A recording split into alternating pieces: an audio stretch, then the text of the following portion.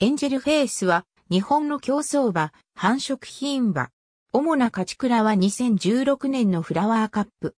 2015年12月12日、阪神競馬場の新馬戦でデビューし、ロワーブソリューの3着。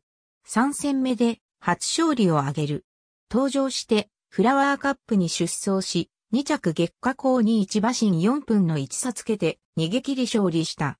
続く優春牝馬10着以降は2桁着順の成績が続き、2017年のニューイヤーステークス13着のあと1年もの間の長期休養に入る。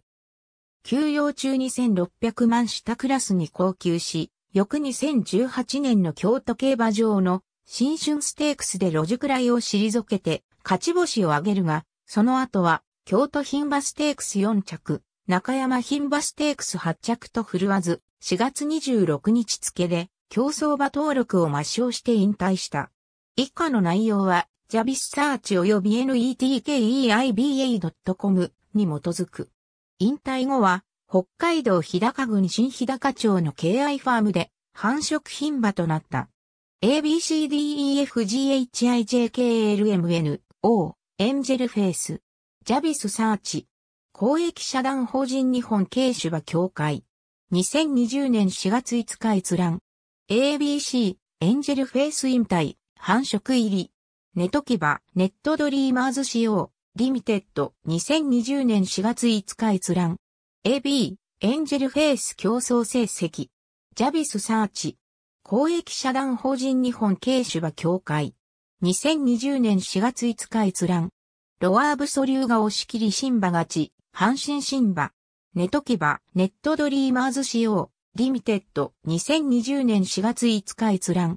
エンジェルフェイス、藤原英師、次走は、馬の様子を見てから、フラワー C、netkeiba、ネットドリーマーズ Co., Limited、2020年4月5日閲覧。